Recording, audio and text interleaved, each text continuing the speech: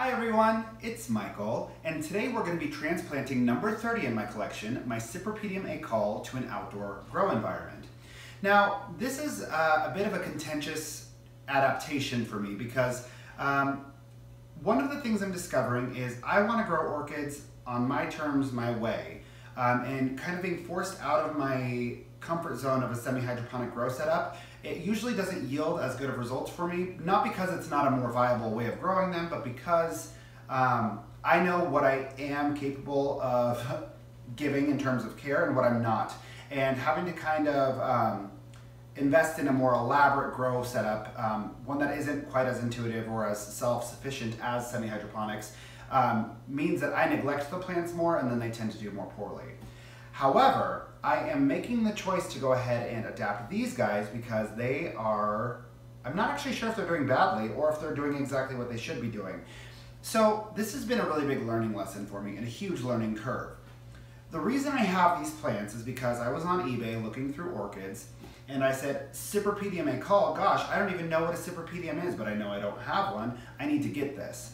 And I'll link the video below where I got them and repotted them. But I made a really um, unsettling discovery. So these were foraged from the wild. I didn't do my research, so I didn't realize that that was a possibility. I didn't realize that people were foraging orchids.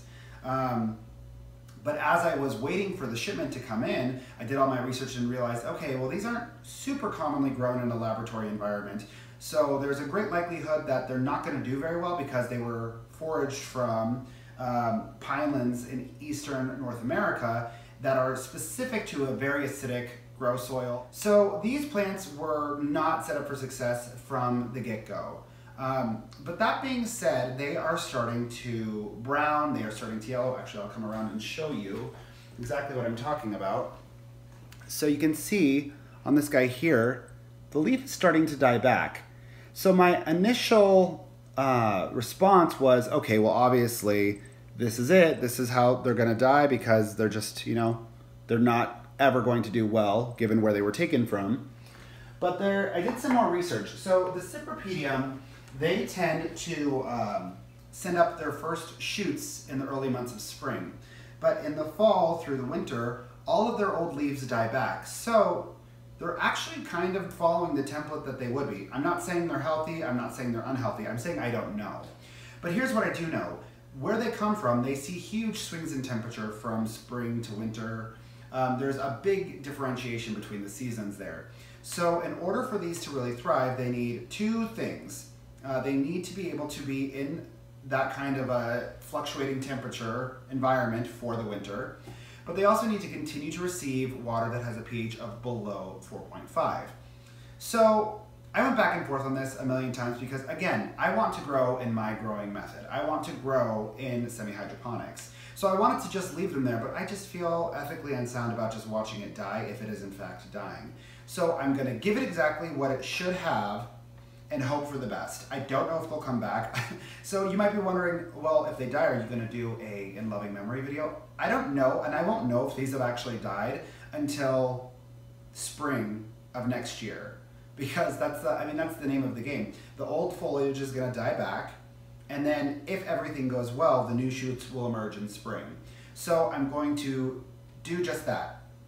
Now, given that these come from a, um, a well-drained acidic soil, what I'm doing is I'm mixing perlite with some basic uh, potting soil, and then I'm just gonna go ahead, pot them up, and put them outside. So I'm gonna go ahead, mix up the potting soil. I'm going to remove these guys from their leca pellets, and I'm gonna time lapse all of it so you don't have to wait around while it happens.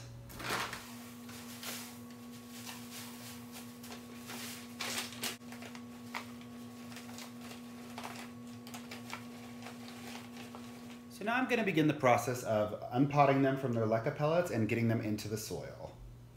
Let's see what we've got underneath here. Okay, now this is interesting. Now, when I bring you in closer, like obviously the dead leaf isn't looking great, but there's that little, I don't even know what you would call that, a little bulb. There's just this little beacon of life that's in there. So I'm hoping that that will make a cameo in the spring and that all will be well. I just don't know. And also look at this guy. Look at how juicy those roots are looking. Maybe this isn't as bad as I thought it was. Huh. Let's keep going.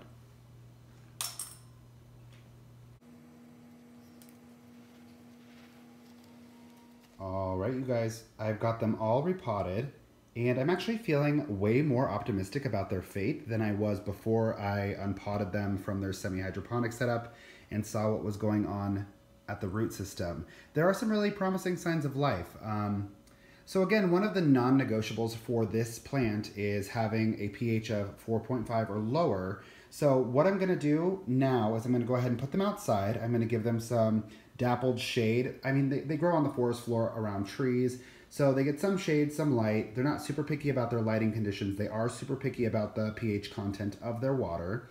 So um, the same way that I've been watering them in their semi-hydroponic environment is how I'm going to water them outside. I've been using pH down. I use this little dropper right here. Um, and then I just mix up a batch of distilled water with the pH down until I get exactly where I need to go. I usually aim for around four. And then I'm just going to go ahead and um, pour that water right over the top of these guys and hope that they make a reappearance during spring.